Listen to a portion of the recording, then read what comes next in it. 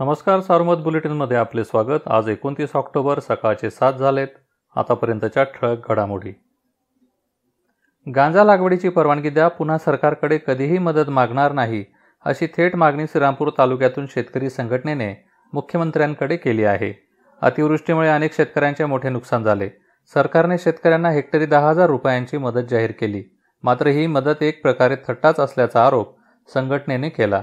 निषेध म्हणून दहा हजार रुपयांचा धनादेश तहसीलदारांमार्फत मुख्यमंत्र्यांना पाठविण्यात आला आहे. खसखस आणि गांजा लागवडीची परवानगी देण्याची मागणी निवेदनाद्वारे करण्यात आली आहे. करोनानंतरचे जनजीवन वेगाने मार्गी लागले आहे. बाजारपेठा गजबजल्या असून करोनाची भीती दूर सारून नागरिक प्रतिबंधात्मक उपायासह वावरू लागले आहेत. दुसरीकडे करोनाच्या रुग्णात दररोज होणारी घसरण कायम आहे. बुधवारी जिल्ह्यातील सक्रिय रुग्णांची संख्या एक हजार चारशे एक्क्याण्णव होती. त्यात काल आढळलेल्या दोनशे पंच्याऐंशी रुग्णांचा समावेश आहे. काल पाच जणांचा मृत्यू झाल्याने एकूण बळींची संख्या आठशे त्रेपन्न झाली. भर दिवसा दीड लाखांची रक्कम लांबविल्याची घटना संगमनेर शहरात घडली. बुधवारी दुपारी हंगेवाडी येथील एक किराणा दुकानदार कामासाठी मोटरसायकल लावून गेले. या संधीचा फायदा घेत चोरट्यांनी त्यांच्या मोटरसायकलच्या डिक्कीत असलेली रक्कम लंपास केली.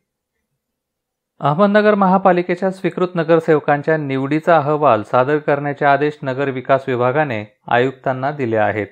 नियमबाह्य आणि मनमानी पद्धतीने या निवडी झाल्याची तक्रार झाल्यानंतर नगर विकास विभाग सक्रिय झाला आहे. नेवासा तालुक्यातील सोनई करजगाव व अन्य सोळा गावांच्या प्रादेशिक पाणीपुरवठा योजनेवरील महसुली खर्चासाठी एक कोटी चौतीस लाखांची प्रशासकीय मंजुरी मिळाली आहे. दीड वर्षांपासून या योजनांचे वीज बिल व पाणीपट्टी थकीत होती. त्यामुळे पाणी योजना चालविण्यात अडचणी होत्या. प्रत्येक सरकारमध्ये मराठा मंत्री असतात. राज्यात अनेक मराठा आमदार खासदार आहेत. मात्र आरक्षणाबाबत फक्त घोषणाबाजी करून या नेत्यांनी समाजाला फसविण्याचे काम केले. अशा नेत्यांना निवडणुकीत धडा शिकवण्याचा इशारा छावा संघटनेचे केंद्रीय कार्याध्यक्ष नानासाहेब जावळे यांनी दिला आहे. श्रीरामपूर येथे ते माध्यमांशी बोलत होते. या होत्या ठळक घडामोडी सविस्तर बातम्यांसाठी वाचत राहा दैनिक सारोमत. किंवा भेट द्या देशदूत डॉट कॉम या संकेतस्थळाला. नमस्कार.